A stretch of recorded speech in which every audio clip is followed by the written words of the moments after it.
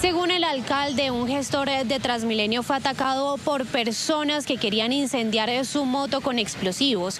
Minutos después, una patrulla de la Dirección de Antinarcóticos decidió actuar en legítima defensa, según las palabras del alcalde mayor de Bogotá. Hay polémica en Bogotá por cuenta de disturbios que se generaron en inmediaciones de la Universidad Nacional. Encapuchados atacaron con explosivos una patrulla de la policía. Los uniformados que iban a bordo del vehículo desenfundaron sus armas de fuego. El alcalde Carlos Fernando Galán se refirió al caso. Se materializó la alerta que teníamos de la mañana. No salieron a hacer una marcha, salieron a destruir unos encapuchados con artefactos explosivos.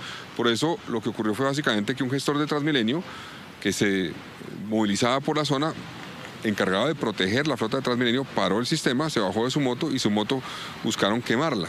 En ese momento él pide apoyo, sino de una patrulla que en esos instantes pasaba por ahí, que era una patrulla de la Dirección Antinarcóticos. Los policías paran, se bajan, inmediatamente reciben eh, los cinco artefactos explosivos que los afectaron.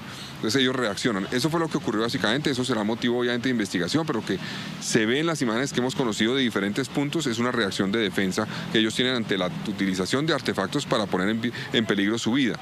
El mandatario reveló que los atacantes están siendo investigados para lograr su plena identificación y posterior captura. Básicamente los dos policías están afectados eh, por el tema de, los oídos por las explosiones, no es nada de gravedad eh, y vamos a trabajar para que en Bogotá se proteja siempre la protesta social, pero la violencia o la destrucción sea judicializada.